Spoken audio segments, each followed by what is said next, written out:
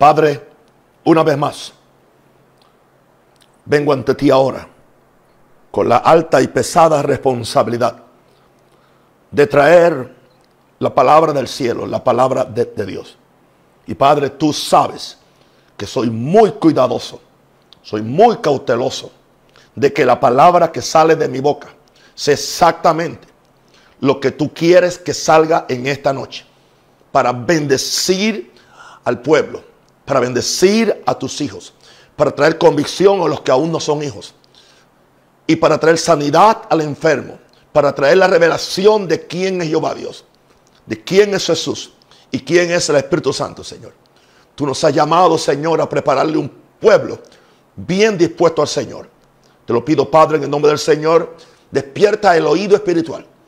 Despierta el corazón que oye, como dice otra versión. Despierta el corazón que oye en nosotros y en cada uno de tus hijos para que, Señor, oiga la palabra.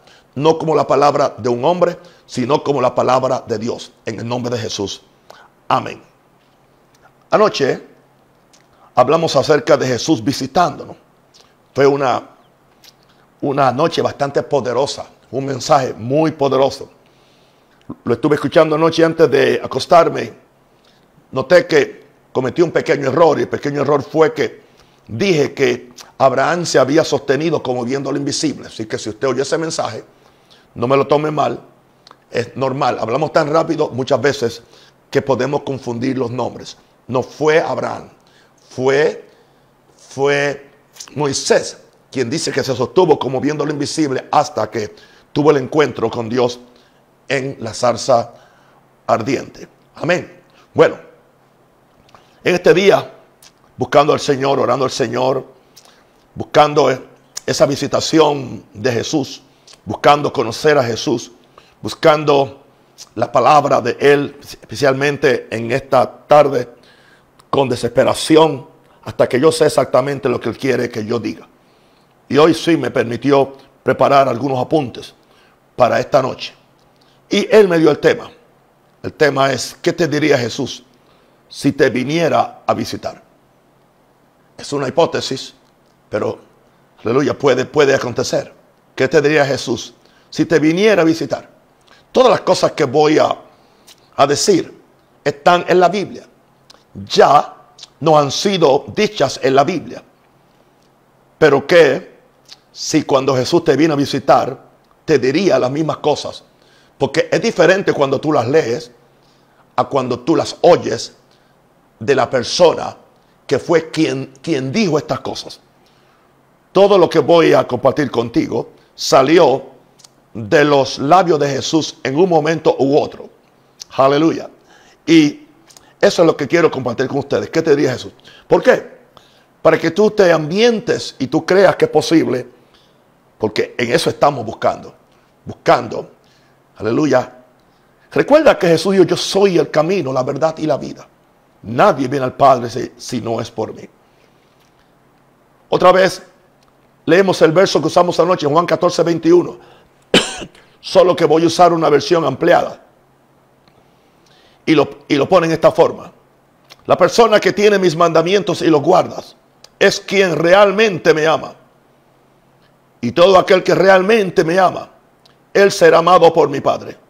Y yo también lo amaré y me le mostraré, me le, me le revelaré, me le manifestaré, me le apareceré, me le haré presente yo mismo a él. Yo permitiré ser visto claramente por él y, se me, y me le haré real a él. Wow, tremenda promesa que nos da Jesús. Que cuando Él se manifieste, cuando Él se revele, cuando Él nos visite, se nos va a mostrar, se nos va a revelar, se nos va a manifestar, se, se nos va a aparecer, se hará presente. Lo vamos a ver claramente, tal como Él es. Se va a hacer real. Yo no sé si alguien desea eso, yo lo deseo y lo estoy buscando, porque sé que nadie se queda igual después de tener un encuentro con Jesús. Claro que tuvimos un encuentro en la salvación, un encuentro en el bautismo del Espíritu Santo, pero estamos hablando ahora de un encuentro más alto. Es el encuentro con Jesús cara a cara, persona a persona. Y Él nos invita a ese encuentro. Y Él nos, nos cautiva con la posibilidad de ese encuentro. Y estas serían las siete cosas que Jesús nos diría. Pudiera decirnos otras, pero estoy tomando, aleluya, lo que predicamos anoche y otros detalles que tengo hoy para que tengamos un poquito, para que nos divertamos un poquito pensando en qué nos diría Jesús. En primer lugar, Él me diría lo siguiente, que está en Apocalipsis 3, 20 al 21. ¿Y qué es lo que dice Apocalipsis 3, 20 al 21? He aquí, yo Jesús, estoy a la puerta. O sea, estoy disponible. Jesús, el Hijo de Dios, aleluya, que no solamente está sentado en los cielos, sino que Él viene a la tierra, es algo que me ha revolucionado, que no limitemos a Jesús sentado a la diestra del Padre, que Él tiene libre movimiento para venir a la tierra a supervisar su reino y atender necesidades de cualquier hijo de, de Dios que tiene fe para recibirlo. Eso cambia completamente tu teología y cambia totalmente porque hemos, hemos pensado que Jesús se sentó a la diestra del Padre y ya Él no hace más nada. Solamente envía al Espíritu Santo. No. Y, claro que apreciamos la obra del Espíritu Santo. Pero Jesús personalmente viene. ¿Quién fue el que vino personalmente donde, donde Pablo cuando se le reveló, cuando Pablo era un enemigo, fue Jesús. Yo soy Jesús a quien tú persigues. Es más, eh, creo que en dos, en dos ocasiones Jesús se le apareció a Pablo en visión. Pero aún así, en visión es que él lo vio como si fuera real. Y le dijo, en una, en una le dijo, ah, es necesario que vayas a Roma. En otra le dijo, yo tengo mucho pueblo en esta ciudad. Y no solamente Jesús se, le aparecía a, a, futuros apóstoles como Pablo, sino que a, aleluya, el Ananías, que fue el instrumento que usó Dios para, para bautizar a Pablo, y dice que Jesús se le apareció y le dijo, ve a Damasco, allí a la calle de, derecha, y ora por Pablo. Y dice que fue Jesús quien se, quien se le apareció. Interesante, en ninguno de estos casos fue el Espíritu Santo. Así que eso descuenta que Jesús simple, simplemente está a la diestra de, del Padre y que nunca Él viene a la tierra. Oh, Jesús anda por la tierra. Anda por la tierra convirtiendo personas, dando mensajes, alentando y bendiciendo. Yo me agarro de esa promesa y sé que si lo hizo con Pablo y con Ananías, que es un discípulo, también lo puede hacer conmigo y con cualquiera que lo desee. Pero Él está esperando que lo deseemos. Ahora, en Apocalipsis 3, 20, 21 dice, aquí yo estoy a la puerta y llamo. Y llamo. O sea, yo llamo, estoy llamando. Una pregunta, ¿cuánto tiempo he estado llamando? ¿Cuánto tiempo quizás Él no ha estado llamando y ni cuenta nos damos?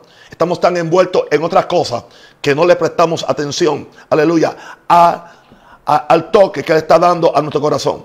Yo estoy a la puerta y llamo. Y dice Jesús, si alguno oye mi voz, wow, Él está esperando que ni siquiera uno oiga su voz y abre la puerta. ¿Cuál puerta? La puerta del corazón. Yo voy a entrar a Él, yo voy a entrar a Él. Wow. O sea, yo me le voy a revelar. Yo me voy a sentar con Él, voy a hablar con Él, voy a cenar con Él, voy a comer con Él, voy a tener comunión con Él. Y Él conmigo. Es una comunión bidireccional.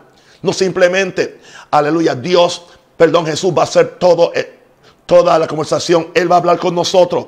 Él nos va a bendecir. Él, no, él, él nos va a hablar cosas. Y entonces dice, y Él conmigo va a haber una comunión. Ahora, para que, para que, para que esto sea posible, tenemos que vencer muchas cosas. Hay muchas cosas que hay que vencer para, porque dice que cuando, que cuando, esto sí lo vi hoy, que cuando Él entra conmigo, yo me siento con Él en su trono. Al que venciere toda, entiende, vence el sueño, vence las voces del diablo, vence tu miedo, vence todo aquello que te dice que esto no es posible. Al que venciere, le daré que se siente conmigo en mi trono. Eso indica, va a entrar conmigo también a ver al Padre, así como yo he vencido y me he sentado con mi Padre en su trono. Su trono es un lugar de autoridad, pero su trono también es un lugar de provisión. Wow. Así que lo primero que él me diría es, hijo, tú me has abierto la puerta de tu corazón y yo vengo a tener comunión contigo. Tú has vencido todas las dificultades, tú has vencido todos los temores, tú has vencido toda la religiosidad y ahora yo te voy a dar que te sientes conmigo en mi trono mientras tenemos comunión. Y él me dice, bienvenido hijo a mi presencia. Aleluya. Bienvenido a estar conmigo. Yo quiero abrirte mi corazón y que tú también me abras el tuyo, hermano. ¿Qué comunión es eso? ¿Sabe lo que es tener este tipo de comunión con Jesús? Sería algo maravilloso y transformador. ¿Qué sería lo segundo entonces que Jesús me diría a mí?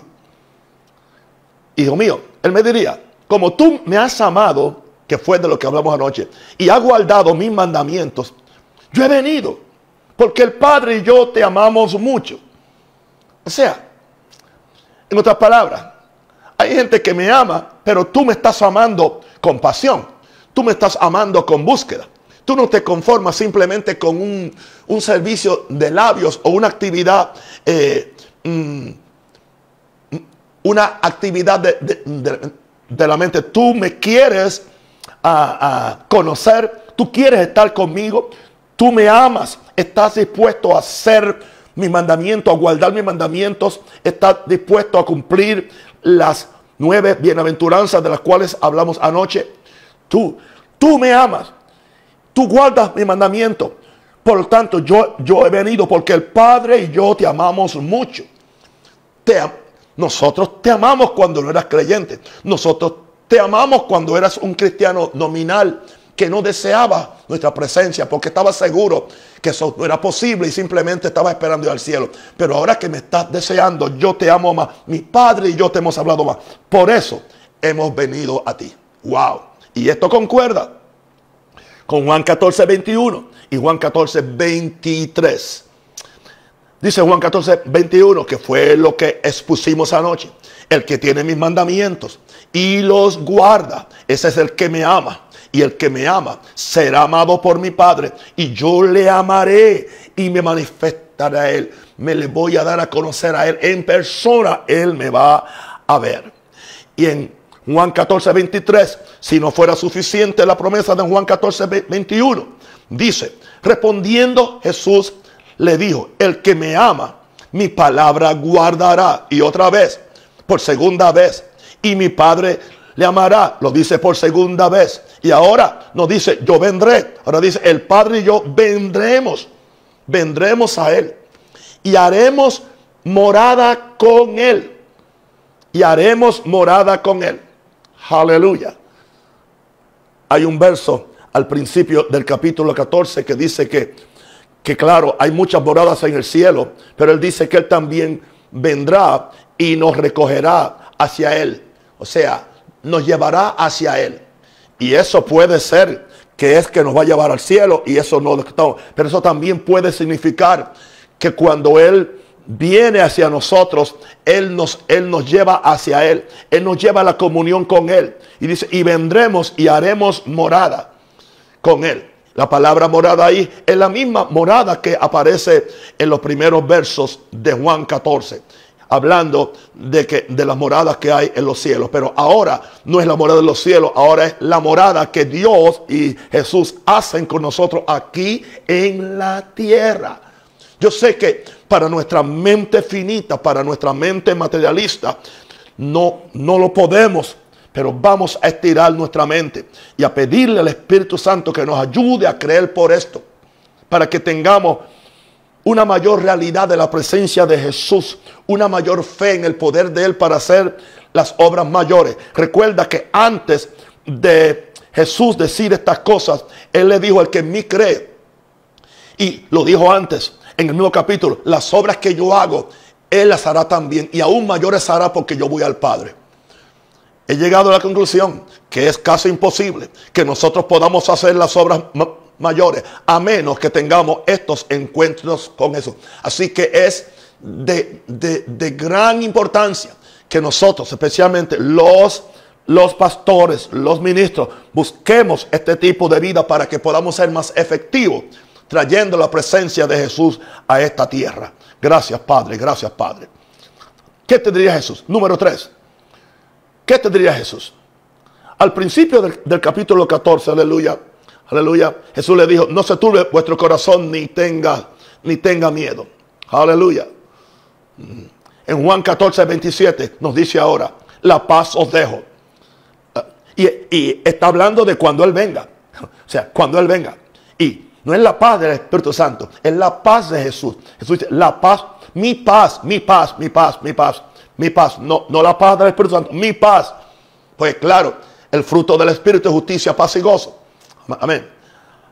Digo, el, reino de Dios es justicia, paz y gozo. Pero ahora dice, la paz os dejo, mi paz os doy. La paz de Jesús. Yo no os la doy como el mundo la da. No se turbe vuestro corazón ni tenga miedo. Indicando esto, que cuando Jesús nos visita, claro, quiero que ustedes entiendan lo que quiero recordarle, lo que compartí con, ustedes anoche, que hoy lo compartía con uno de mis hijos espirituales. Fue algo que a mí me liberó. Y y voy a añadir esto porque es importante que lo diga. Tengo dirección del Espíritu Santo. Cuando uno empieza a buscar a Dios en esta forma, uno se puede estresar. Es tanto el deseo que uno tiene para, para tener este encuentro con Dios o, tener este, o, que Jesús visite a uno, que uno puede estresarse. Y es tanto el, el estresarse uno que, que uno no consigue lo que estaba buscando. Porque entonces uno puede caer en la fuerza de la carne o de la voluntad en vez de depender de la obra del Espíritu Santo y de la gracia de Dios. Aleluya. Y entonces uno puede perder aún la paz. Pero aquí dice, la paz os dejo, mi paz os doy. Aleluya. No, no se turbe vuestro corazón. No tenga miedo. ¿Por qué? Porque el Dios de paz está con nosotros. Jesús nos da su paz. Cuando Él viene y nos dice, todo va a estar bien. Cuando Él nos dice, recuerden, eh, eh, es posible que Él nos diga, recuerde lo que yo dije al final, en el último verso del Evangelio según San Mateo. He aquí yo estoy con vosotros todos los días hasta el fin del mundo. Y posiblemente Él me recuerde cuando tú no me has sentido, yo estaba allí. Cuando tú te sentías deprimido, yo estaba allí contigo. Cuando estaba llorando, yo estaba allí contigo. Cuando tú no tenías que comer, yo estaba allí contigo. Yo te sostuve, yo te levanté, yo he estado contigo más real y más presente de lo que tú has pensado que es posible. El hecho de que tú no me sentías, el hecho de que tú no me, no me oías, como dice el cántico, Él siempre está trabajando. Así que es importante, porque así ah, no tenemos que esperar a tener una manifestación para saber que Él está. Él está conmigo. Hoy cuando yo estoy pidiéndole que Él me dé los puntos para el mensaje, yo le digo, Señor, tú estás aquí conmigo, en este cuarto. Te, Cuando acabo de preparar los puntos, digo, gracias que tú estás conmigo. Antes de venir aquí, digo, tú estás conmigo. Tú nunca me dejarás, tú nunca me desampararás. Tú lo dijiste todos los días hasta el fin del mundo. Y, todavía estoy aquí. Y si no ha llegado el fin del mundo, tú estás conmigo en esta noche. Y cuando acabe aquí y haga lo que tenga que hacer, Él va a estar conmigo. Y cuando duerma, va a estar conmigo. Y cuando Él me despierte mañana a la hora que Él quiera, Él también va a estar conmigo. Y esa es eso es, pero claro, esto no descuenta ahora la posibilidad, como les dije anoche, de que entonces también tengamos, Él nos dé un bono. Yo creo que, yo creo que una visitación es un bono de gracia que Dios nos da. Aleluya.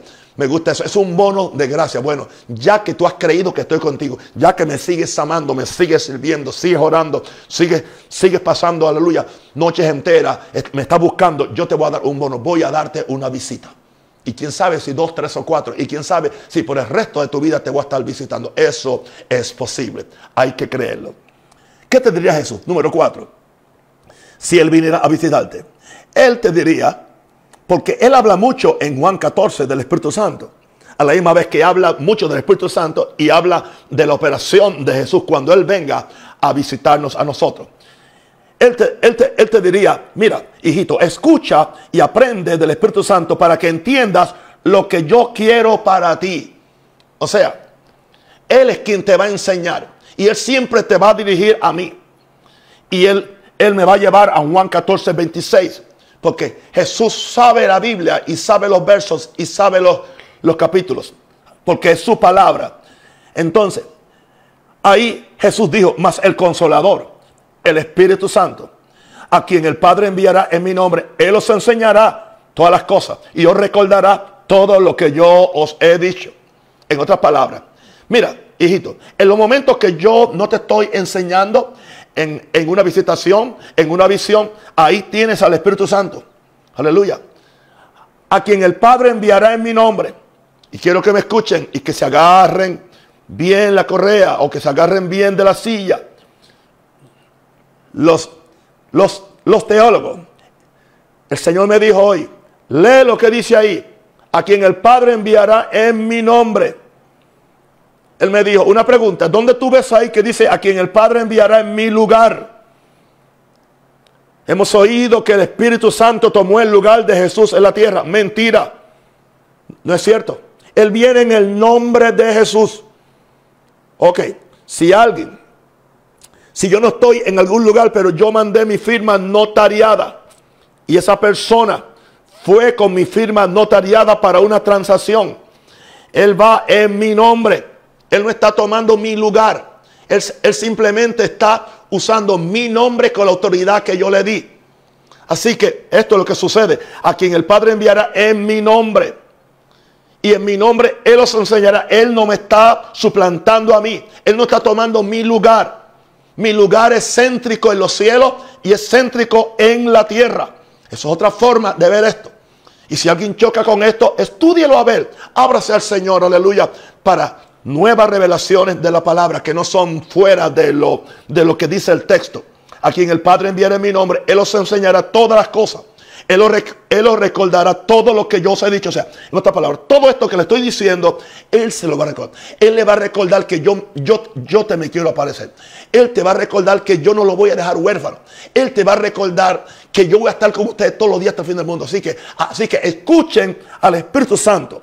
Aleluya. Y entonces nos añade algo más en Juan 15, 26. Escuchen al Espíritu Santo porque Él dice, porque Jesús dice, cuando venga el consolador, a quien yo se enviaré del Padre, el Espíritu de verdad. Ok, Él es el Espíritu de verdad. Yo soy el camino, la verdad y la vida. Escuche la verdad que Él va a hablar acerca de mí. Escuche la verdad que Él va a hablar acerca de los encuentros conmigo. Escuche la verdad acerca, aleluya, de la comunión de ustedes conmigo. Y recuerden que el Espíritu procede del Padre, aleluya. Y Él dará testimonio acerca de mí. Él les va a testificar estas cosas para que ustedes no las olviden. Wow, tremendo, tremendo. No, mira, no hay competencia, no hay, no hay pugilato entre, entre lo que yo estoy diciendo. Yo soy un, un firme creyente en la operación y en la gloria de la persona del Espíritu Santo, aleluya. Pero no está suplantando a Jesús tampoco. Juan 16, 13. Pero cuando venga el Espíritu de verdad, le llama el Espíritu de verdad, aleluya.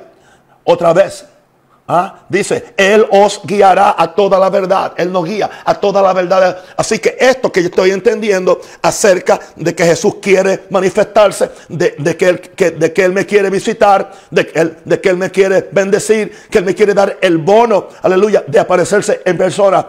Eso es el Espíritu Santo guiándome a la verdad para que yo tenga fe, para que yo me atreva. Porque no hablará por su propia cuenta, fíjate. Así que Él no hablará Así que Él no tomó el lugar de Jesús. Él viene en el nombre de Jesús. Por eso Él no habla por su propia cuenta.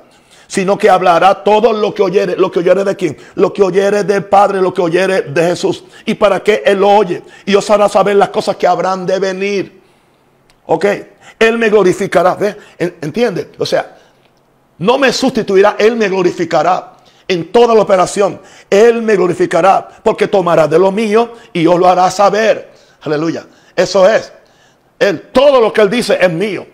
Él no puede inventarse nada. Él no tiene licencia para hablar por sí solo. Entonces dice Jesús, todo lo que tiene el Padre es mío, es mío. O sea, lo que, lo que el Padre tiene está a mi disposición, aleluya. Por eso dije que el Espíritu Santo tomará de lo mío y os lo hará saber a ustedes. Aleluya. Indicando esto, que no hay que esperar a una visitación para tener la enseñanza del Espíritu Santo. Yo creo que en esta tarde, yo, no tuve una visitación de Jesús, pero fue el Espíritu Santo quien me, me apropió estos versos y me apropió estos puntos para que yo tuviera un mensaje que pudiera bendecir a todos ustedes que están hambrientos. Aleluya. Ahora, en el lo próximo que nos diría sería el número el número 5. Creo que voy bien. Ok. Número 5. El 4 fue escucha y aprende del Espíritu Santo para que entiendas lo que quiero para ti. Y ahora el 5. Si quieres que esta relación permanezca, ah, Importante ahora, porque ahora vamos a entrar en Juan 15, que es parte del mismo discurso. Aunque está, está dividido en capítulos, Jesús no lo dividió en capítulos, era parte del mismo discurso. Si quieres que esta relación permanezca, mantente conectado a mí como el pámpano se conecta a la vid. Después que Jesús le dijo todo eso a ellos, cuando entra en lo que hoy conocemos como Juan 15, 4 y 5, que no era Juan 15, 4 y 5, era simplemente parte del discurso, Jesús le dice en el verso 4 a sus discípulos, y eso es para nosotros hoy, permanezcan en mí y yo en ustedes. Stay in me and I will stay in yourself. Abide in me, I will abide in you. Permanezcan en mí, en mí, en mí, en mí, en mí, en mí, en mí, en mí. Fíjense que no dice permanezcan en el Espíritu Santo, aunque el Espíritu esté en nosotros. Permanezcan en mí. Mantengan esa comunión conmigo. Y, entonces nos da una comparación como el pámpano o, como la rama no puede llevar fruto por sí mismo si no permanece en la vid o si no permanece en el tronco del árbol. Así tampoco vosotros no podéis si no permanecéis en mí. Tienen que permanezcan en mí. Permanezcan en mí cuando me ven, cuando no me ven, permanezcan en mí, no importa lo que esté pasando. Y entonces dice el verso 5, yo soy la vid. O sea, yo soy donde ustedes están injertados. Yo soy la vid. Vosotros los pámpanos o las ramas. El que permanece en mí, permanezcan en mí. El que permanece en mí y yo en él. O sea, yo soy quien empiezo la, la, la acción. ¿Te das cuenta? Una pregunta, ¿quién es el que abre la puerta cuando Él está tocando la puerta? Jesús no abre la puerta, tampoco la rompe, tampoco la empuja. No. Jesús dice, si alguno abre la puerta. Ahora, ¿quién es el que lo va a amar y va a guardar los, y va a guardar los mandamientos? Soy yo, no es Él. Y todo eso que yo hago va a causar que Él venga a visitarme y a estar conmigo. Pero ahora, ¿a quién es que le dice permanezcan? Yo, o sea, Él, él está ahí dispuesto. Él está ahí. Él dice, le toca a ustedes permanecer en mí, conectarse a mí, aleluya, inyectarse en mí, aleluya, y yo entonces en ustedes. Porque ustedes no pueden llevar fruto por ustedes mismos si no permanecen en mí. Así tampoco vosotros si no permanecéis en mí. Y le dice, yo soy la vid, vosotros que los pámpanos, el que permanece en mí. O sea, tú decides cómo yo permanezco en él, adorándole, orando, viviendo en santidad teniendo comunión con Él, buscándole de día y de noche. Así yo permanezco en Él y yo en Él. Este lleva mucho fruto, porque separado de mí nada podéis hacer. Así que yo no tengo, yo no tengo que esperar una visitación de Jesús. Yo, no tengo que esperar una visitación de, que yo vaya al cielo. Esta, esta es mi vida normal como un discípulo. Dice, él está hablando con discípulos, no simplemente con convertidos, que simplemente quieren un boleto para ir al cielo sin hacer absolutamente nada, descansando en una gracia que no lo santifique, tampoco le da satisfacción. Oh, yo conozco una gracia que me santifica y me satisface. Ambas cosas. Me santifica y me satisface. Recibe esa gracia, querido amigo hermano. Ahora, él me está diciendo, si quieres que esta relación permanezca, mantente conectado a mí, como el pámpano se conecta a la vid. Ahora, número 6. ¿Qué me, ¿Qué me diría él? Hijito mío, ya que tú estás en este lugar, ya que tú has venido, ya que yo he venido porque tú, tú, yo he venido porque tú me has amado. Yo he venido porque tú has cumplido los mandamientos. Yo he venido porque tú me buscas intensamente. Yo he venido porque tú abriste la puerta y me permitiste entrar. No sé si, como dicen en Puerto Rico, si más claro no canta un gallo.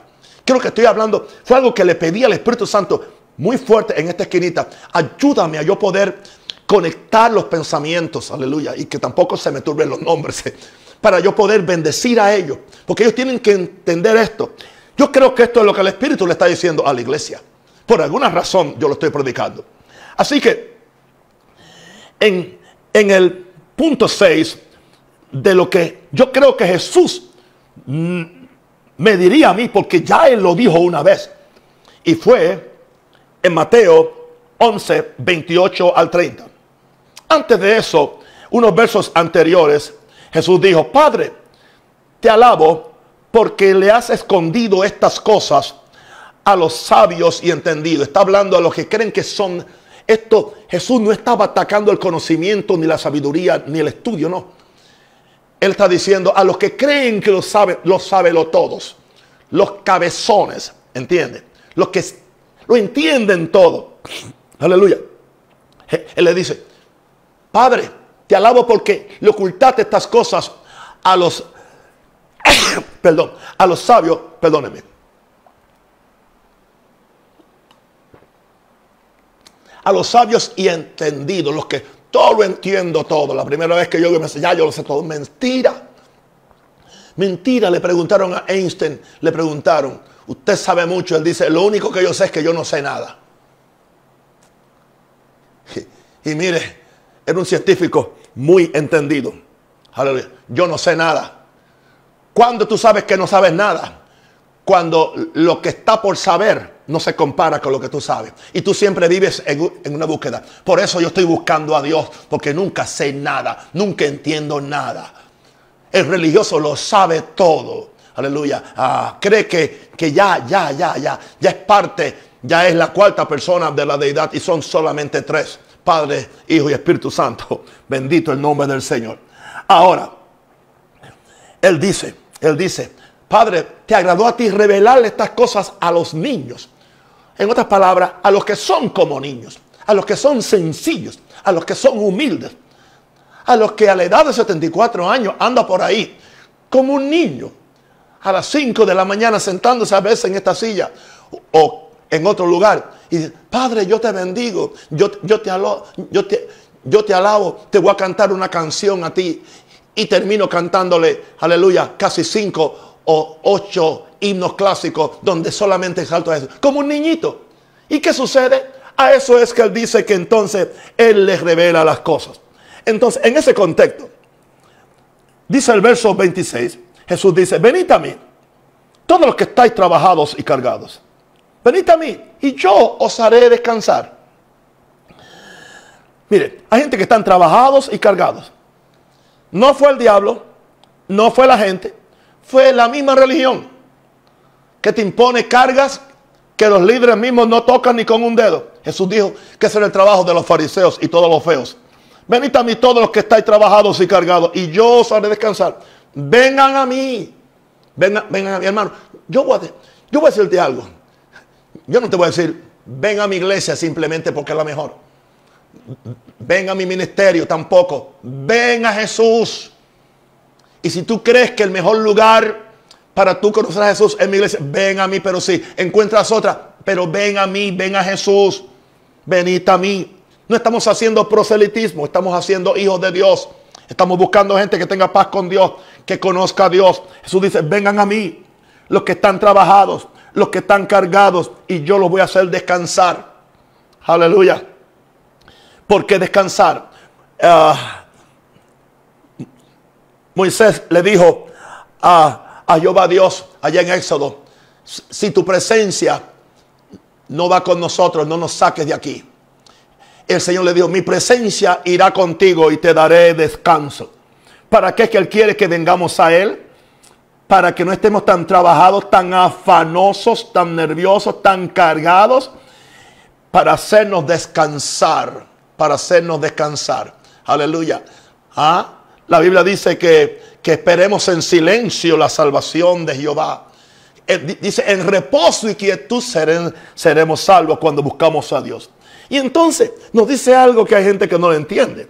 Dice, llevad mi yugo. Llegad, llevad mi yugo sobre vosotros. ¿A qué se refiere Jesús? Enyúgate conmigo. Yo voy a correr contigo, yo voy a caminar contigo y tú vas a caminar conmigo. Pero hay una condición.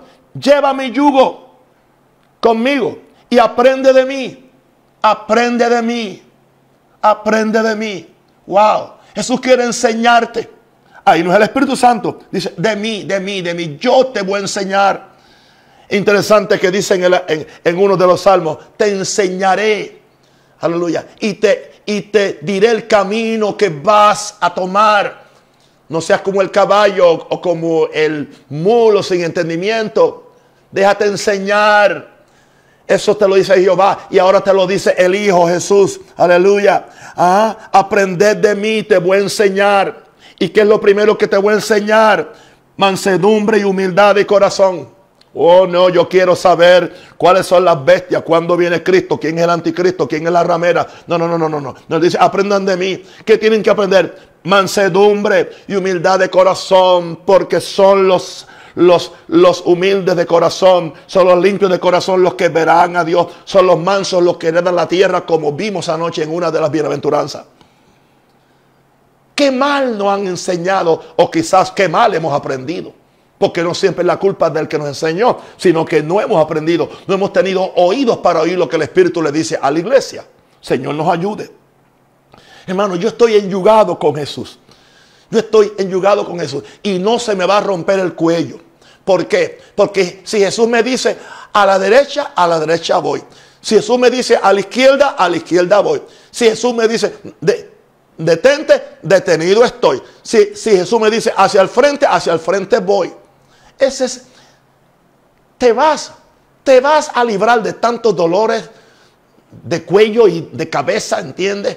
Estoy oprimido. Claro que estás oprimido porque eres terco, porque eres terco, ¿entiendes? Jesús quiere que estés, que Él es, vamos a ponerlo en esta forma, uno, yo soy de campo y para arar se ponía un buey fuerte con un buey más débil o más débil o un buey con mejor genio. Entonces el buey fuerte ala, ala, ala, ala al buey, al buey débil. Pero el buey débil también tiene el propósito de controlar, aleluya, la impulsividad del buey fuerte.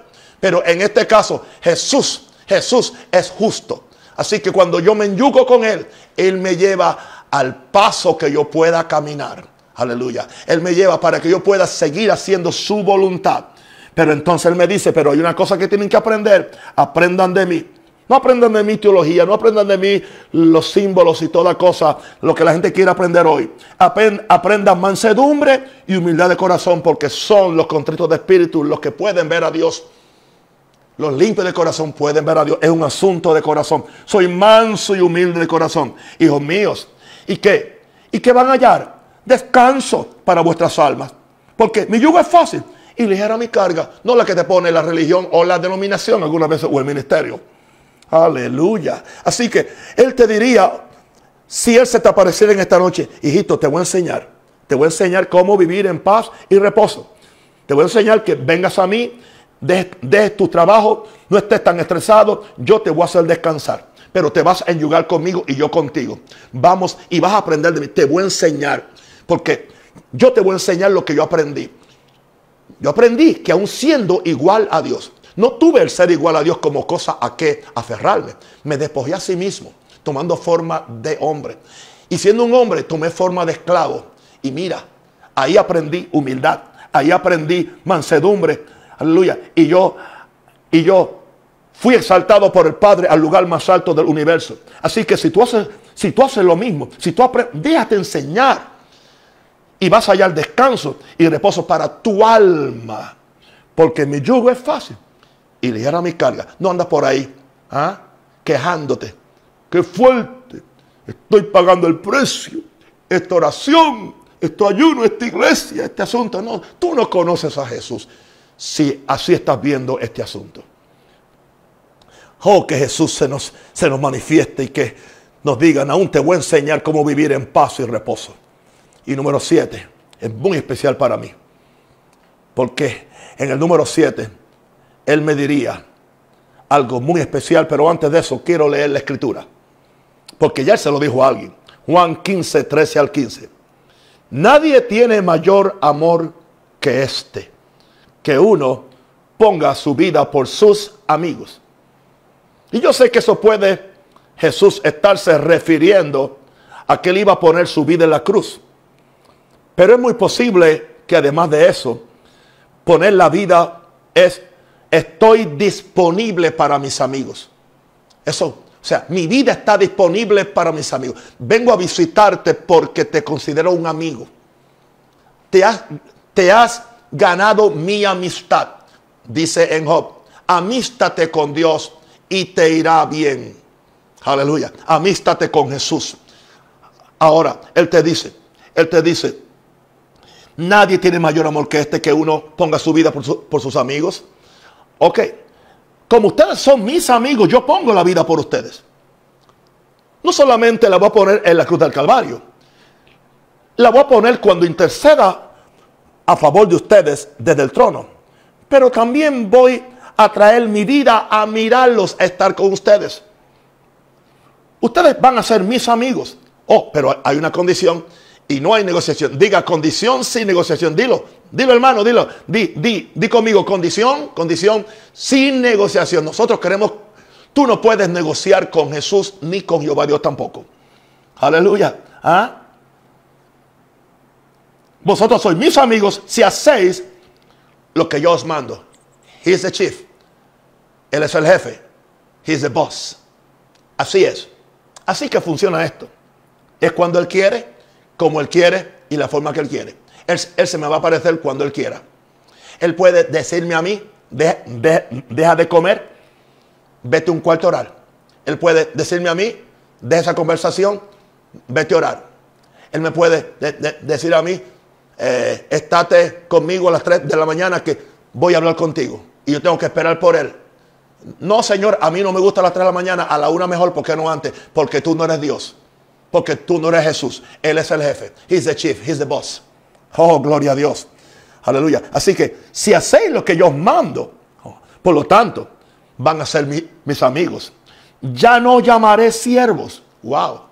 Esto no indica que no sigo siendo siervo. Mira, soy hijo, pero trabajo como siervo. Esa es la belleza de este evangelio. Soy hijo, pero trabajo como siervo. Ya no llamaré siervos, porque el siervo no sabe lo que hace su Señor. Voy a establecer contigo una relación donde tú vas a saber. Por eso te lo voy a revelar, sea que lo haga por medio del Espíritu Santo, que te revela todo lo que el Padre quiere para mí y para ti. Pero puede ser también que yo venga y yo te lo haga saber. Aleluya porque el siervo no sabe lo que hace su Señor. Pero os he llamado amigos porque todas las cosas que oí de mi Padre os las he dado a conocer. Eso es lo que Jesús quiere. Y ahí entonces llegamos a una de las cosas más importantes. Hoy meditaba en esta mañana de los amigos que Dios tenía en la tierra. Puedo mencionarte algunos. No tiene que la Biblia decir que fueron amigos, pero yo sé que Enoch fue amigo de Dios. Caminó tanto con Dios que un día se fue con Dios. Porque estuvo con su amigo por muchos años caminando. Dice que caminó 300 años con Dios. Y un día se fue con Dios. Te aseguro, porque la Biblia lo dice, que Abraham fue un amigo de Dios. Abraham fue un amigo de Dios porque la Biblia dice, Abraham mi amigo. O sea, ¿por qué? Porque hizo la voluntad de Dios.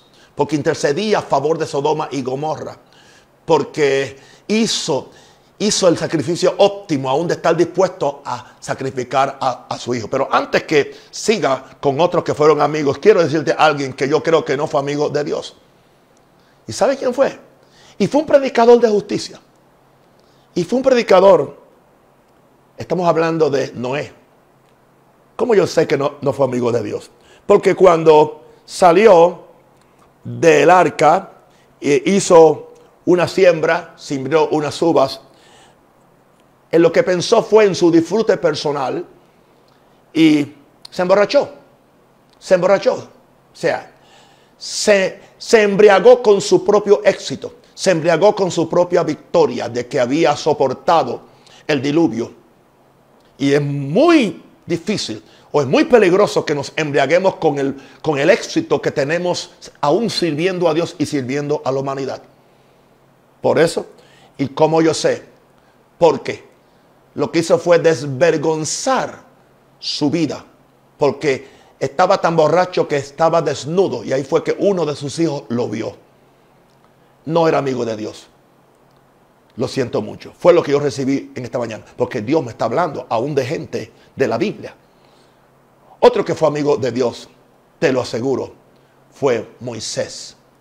Dice que le dijo a, sus hermanos que lo envidiaban, Cuando yo voy a hablar con un profeta, le hablaré en sueño, en visión, no así con mi siervo Moisés. Yo vendré y hablaré con él cara a cara. Moisés era a quien Dios lo invitaba al lugar santísimo, lo entraba allá y Dios hablaba con él como uno habla con su amigo, con su vecino.